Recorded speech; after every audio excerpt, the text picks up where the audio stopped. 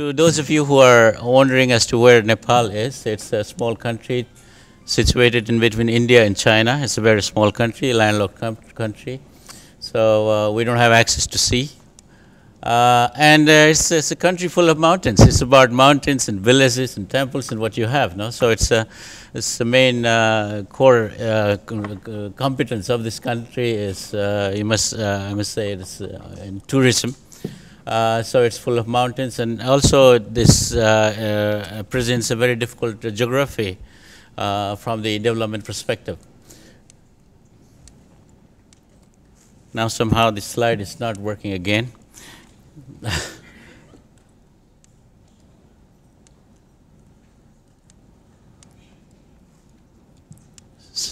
okay. Now, uh, just to uh, give you a background about my presentation, I'll be talking a little bit about uh, the context within which uh, we are promoting e-governance in Nepal. And uh, I'll be taking stock of our policy and regulatory institutional environment uh, within which the e-government initiatives are being promoted. And I will also be taking stock briefly of opportunities and challenges from a developing country perspective. Now, to give you a brief background about Nepal, Nepal is, uh, you know, is one of the uh, uh least developed countries, and it has a host of development challenges to to attend to. For example, it's a landlocked country, as I mentioned to you before, and uh, we're going through a period of uh, political transition. Uh, so uh, it's uh, the political house is yet to get in order, and and the other challenge that we face is that we have the challenge, this daunting task of of having to provide social services to the communities that are far flung, uh, that are uh, out of development mainstream. And we have to focus on poverty reduction. And of course, the, the uh, fourth challenge that we uh, must address is the, the challenge of governance reform. So how can you make the governance more inclusive? How can you make the governance more accountable uh, along the tenets of uh, good governance?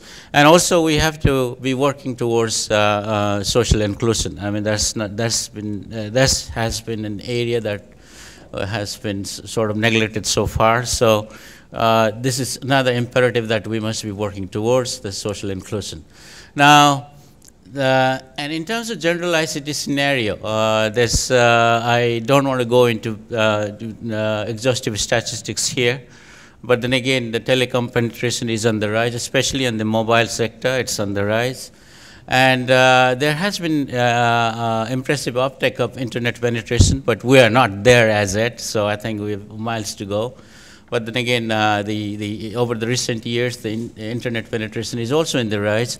And there are some issues relating to ICTs that we must grapple with. That's first and foremost is broadband. If you think about leveraging ICTs to provide services to the far-flung remote communities, and the, the issue of uh, infrastructure comes to fore and, and becomes very uh, uh, uh, significant.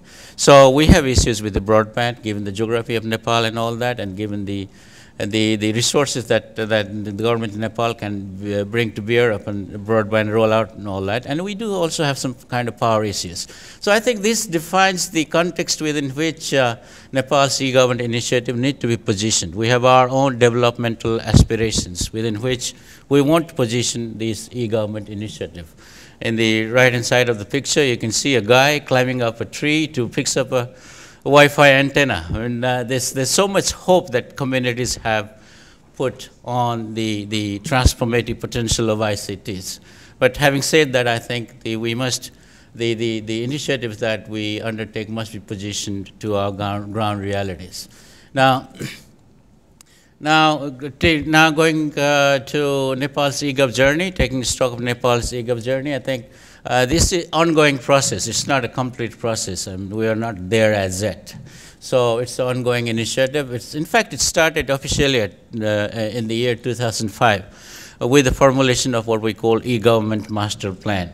So this was uh, the, this was completed through the support of uh, the government of Republic Korea, and also and uh, the projects based on this master plan, this e-government master plan, were formulated uh, with the support of Asian Development Bank. And, and of course, uh, we received funding from the Asian Development Bank. Uh, these government projects will run till 2024, so that's uh, until when we will have this uh, first phase of this initiative, 2024. And uh, sorry, and in terms of vision and mission that's, that we have adopted into this e-government master plan, we think that it will lead to a couple of uh, keywords there and uh, objectives there is, uh, I think, the, the, the idea is to, to to bring about a citizen-centered government and transparent government, efficient and network government. So, so this is the, the, the vision that's, uh, that the, the e-government master plan has adopted, the government of Nepal has adopted. So uh, through this means the hope being that we can make the governance uh, more citizen-centric and we can uh, do away with the instances of corruption and all that, make it more transparent, and uh, of course, we can achieve the goals of good governance and, and, efficient governance. And at the end, maybe we, we will have this, uh, uh, the goal of having a networked government in place. Now, let me give you a brief on policy and regulatory framework. Uh, I think uh, the, I don't want to go into very detail into that, but it's not a very exhaustive policy and regulatory framework there. But uh, then again, uh, we have three major policy uh, instruments that uh, we think uh, relates to the e-government initiative. We don't have e-governance act or regulations per se, but I think some of the provisions that the acts or regulation addresses in other countries are taken care of the, the, the, through the, the policy instrument that we have. For example, first and foremost, we do have an IT policy which not only, of course, not only talks about e-governance, but, but talks about the whole gamut of uh, IT and how you can leverage ICTs to bring about development, also economic growth, and how you can move up the value chain through, through IT and all that. So I think uh, it's, it's, a comprehensive policy. And uh, we do have a telecommunications policy uh, in place. I mention this specifically because it is through this policy that the sector has been liberalized. It is through this policy that we have uh, the sector has become more competitive.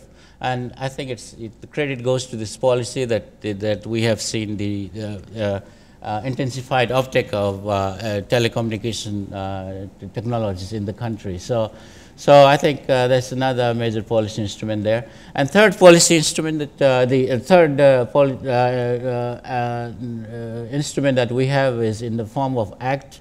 that's called Electronic Transaction Act. That is the, uh, that, that in a way uh, forms the basis for uh, legality of electronic transaction carried out within the country. And that also takes care of uh, the cybersecurity related issues, cybercrime related issues. So it's a comprehensive act that, uh, that enables the government of Nepal to go into transactions-based uh, e-government model. Now, in terms of actors and institutions, of course, I could have elaborated it a little uh, uh, better, but, but then again, we have a couple of institutions there which are directly related to, to uh, uh e-government. Now, then again, compared to other countries, we don't have one agency per se responsible for all e-government activities. It's a distributed uh, execution uh, model. But then again, we do have two major agencies that are responsible for coordinating e-government activities uh, across the agencies. One is High Level Commission for IT, the, the commission that I represent. The other is Office of the Prime Minister and Council of Ministers. So these two agencies are responsible for coordinating e-government related activities. Now, I say the coordination is the key word here. I mean, they don't have any other uh, uh, say in that. Uh, I, I, already told you it's a distributed execution model. In, in addition to that, uh, uh, there is uh, Nepal Telecom Authority who are responsible for, for making sure that the e-government initiative is backed by infrastructure rollout in the rural areas, for example. And, uh, and of course, we do have control of certification authority, the, the agency that looks after digital signature, cybercrime, uh, etc. And we do have a number of uh, project executing agencies. So, so uh, it's just kind of a mixed bag uh, in the sense that there are so many agencies involved in the uh, implementation of uh, e-government, but then again, two agencies at the top. For example, a high-level commission for IT is responsible for coming up what we call enterprise architecture of the of the government. so the e-government initiative. So that's the, that's the, uh, the foundational activity that we are engaged in, in addition to other uh, networking uh, coordination work that uh, we do. Now, in terms of project component, here again, I don't want to go into detail, but then again, it is uh, four major components there. Of course, uh, uh, at the top you would see rural connectivity because Nepal, you know, is, is a rural country. I mean, uh, if you forget uh, the, the rural population, the villages and all that, then e-government uh, will end up being an elitist agenda. So I think you cannot forget the rural areas. So first and foremost, there's a sizable uh, amount of money that's been set aside to enhance rural connectivity, provide connectivity to the villages and all that. Uh, so that they can avail uh, uh, themselves of e-government services. Now, there is also government-to-government network that we are currently working on. This is and also government groupware. So that will uh, help us in, uh, achieve the vision of, uh, say, network governance, establishing network between government agencies. Now, third is uh, we have number of e-government applications. I don't want to go into details there, but then again, some key applications is enterprise architecture and database for national identification. We are working on an NID database uh, and uh, some other applications.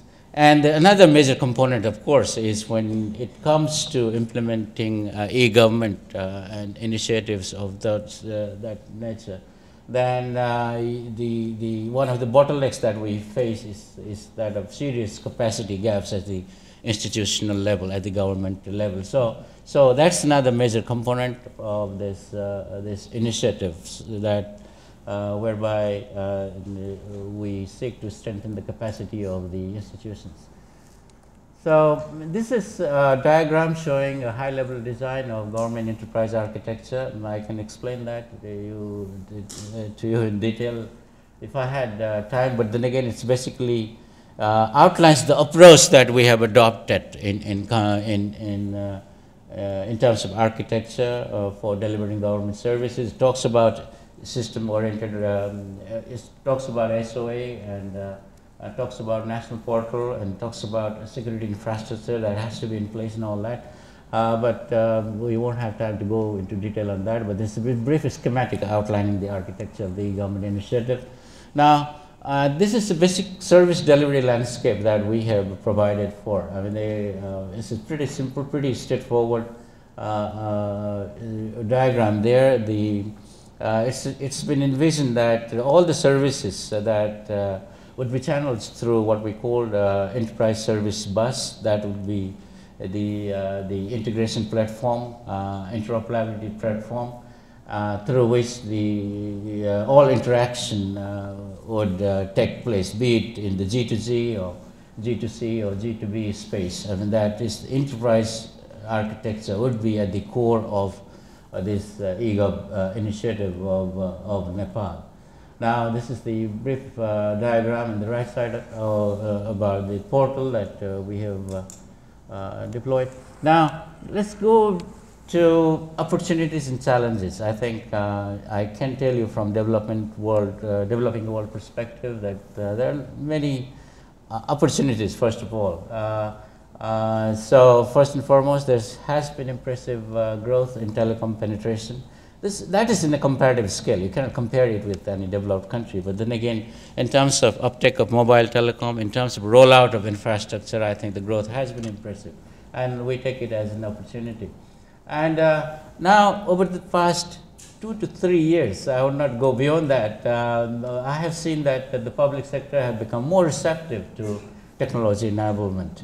So we have some shining examples of, uh, of IT uses in the public sector and through that means uh, uh, value generation in the public sector. For example, public procurement could be one area where we have seen uh, uh, uh um, significant uptake of IT and through that means uh, some changes in the way the public procurement is done in, in the positive sense.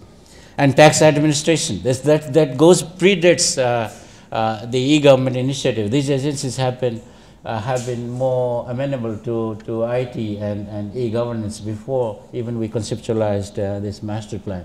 So they have done some very interesting work there and uh, security agencies and all that. Uh, so that's uh, in terms of uh, receptivity, I think it's also there.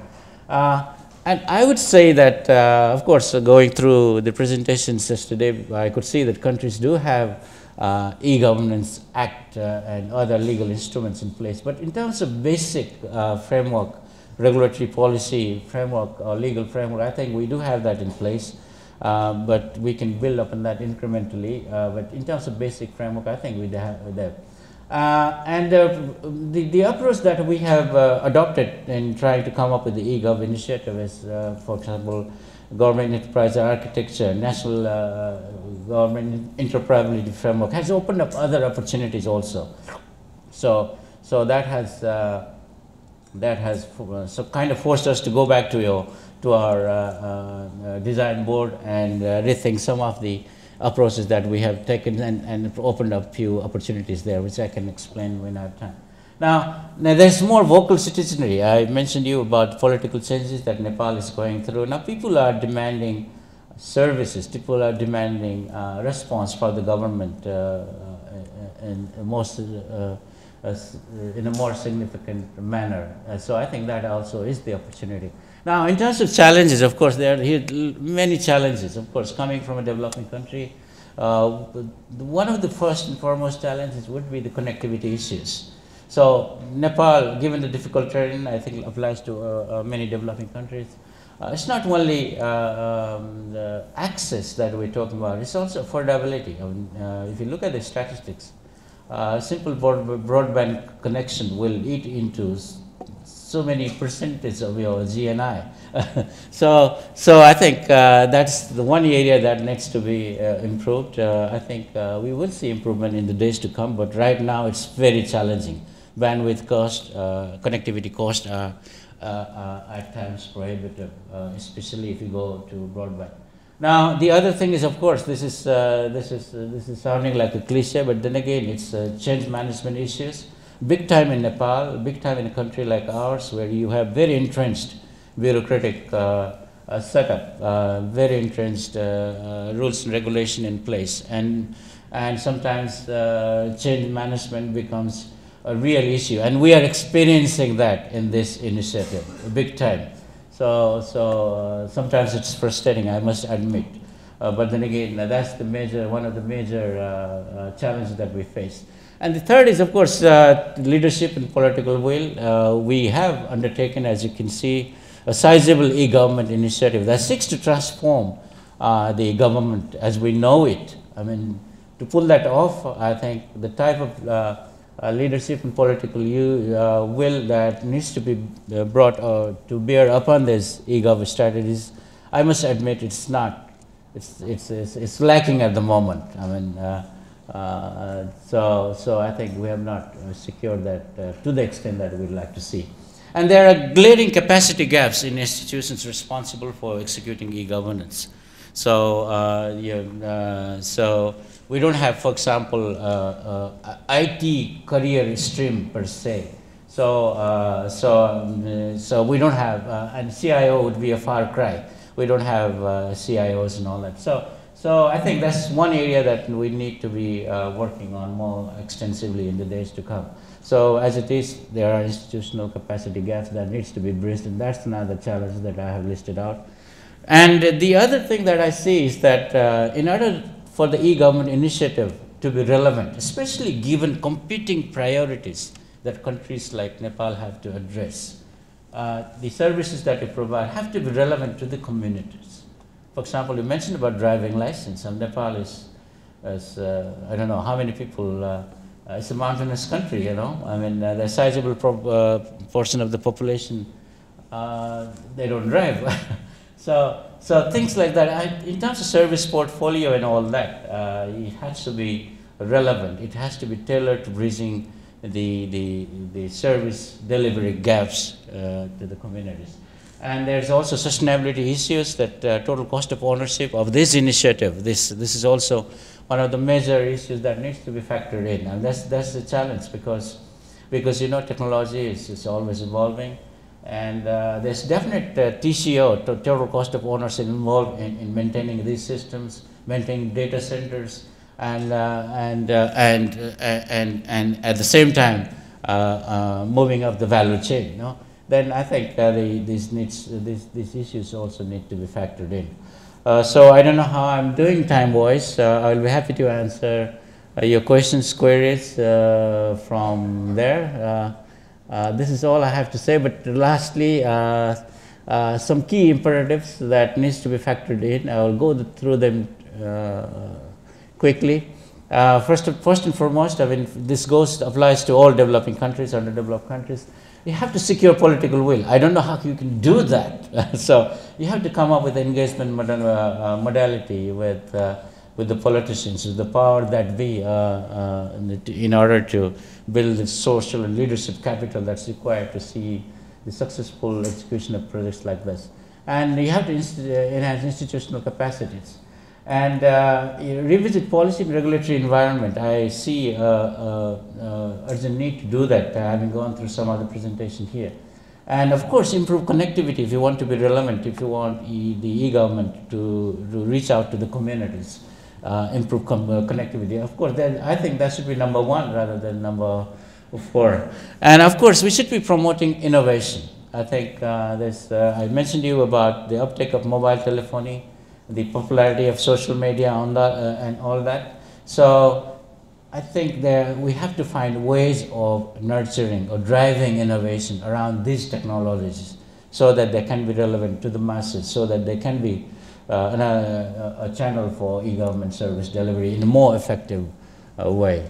Now, with this, uh, I have come to the end of my presentation. I'm sorry I had to rush through the, the slides, but thank you very much for your attention. Thanks.